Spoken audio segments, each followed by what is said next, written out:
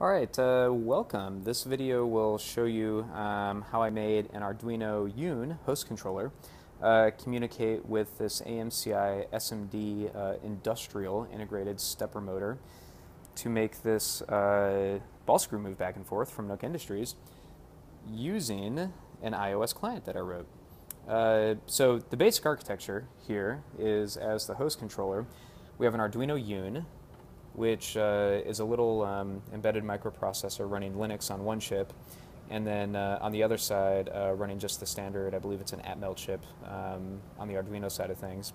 So uh, on the Linux side, I programmed a host controller in C that listens for client commands over Wi-Fi, translates those commands into uh, commands the motor understands, and then uh, using Modbus TCP, over Ethernet here uh, communicates those commands back to the motor, and uh, then as need be communicates, uh, I guess translates those responses from the motor into something the client understands.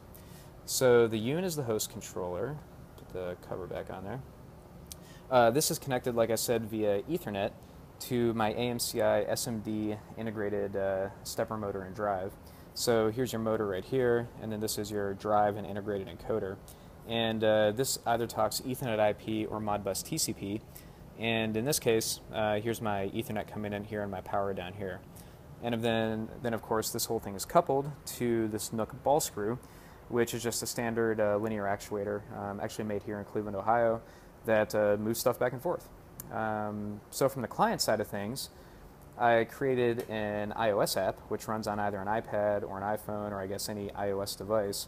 And this is connected to the Yun's built-in wireless network. And basically, I'm communicating back and forth between the uh, host controller and uh, this um, interface here using a, uh, I guess, a communications protocol that I made up uh, using standard Linux sockets for uh, for this particular application. So, basically, I can connect here. That brings up the main screen, shows that I'm connected, um, shows the SMD status is good. I can reset errors by tapping that button there. Um, I can see the real-time drive status. So these are all my errors up here. Position invalid error is normal. If I scroll down through here, I can see all the input states, positions. I can see my heartbeat blinking, which tells me that I am indeed connected to the motor in real time. And all this is updating uh, every 250 milliseconds. And you can scroll down and just see all the different, uh, different bits here. Uh, I can also configure the drive. So go into here, and it pulls out all of the relevant drive data so you can set motor current, idle percentage, turn on stall detection if you wanted to, turn on and off the encoder, set input states, purposes, etc., etc. Go back to the main screen. All right. And to make a move, actually do some neat stuff. So under jog move, for example, I can configure all these different parameters, speed, acceleration, decel, blah, blah, blah, clockwise, counterclockwise. And if I hit jog, you look over here, you can see it's moving. And I can kind of change this speed just by changing the slider. Let's go the other direction. So you can see here, so if I go back here,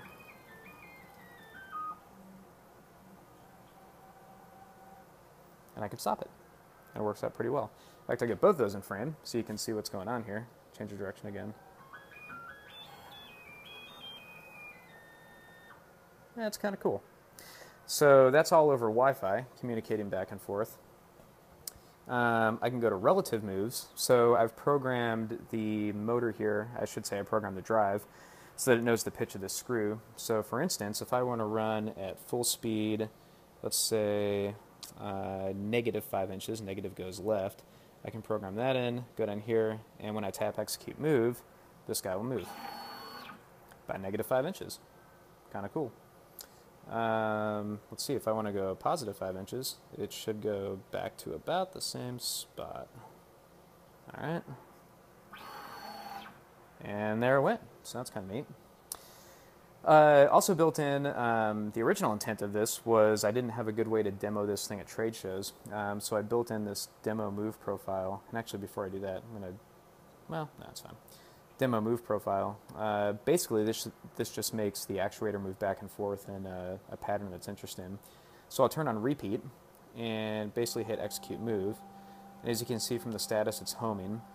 So this is a built-in routine into the SMD. When it homes, this tab is basically looking for that prox switch. So it's going to find it, and then it's going to go forward and then back off of it. So you can actually see these values changing slowly, and then it homes.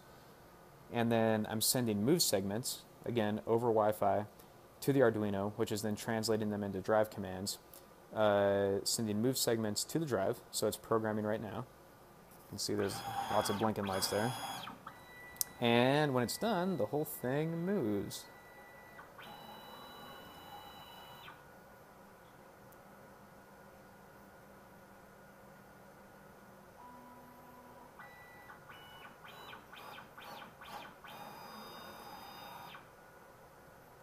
Very cool. And if you go here, if we go down through the status page, you can actually see all the different bits flipping back and forth as this thing moves.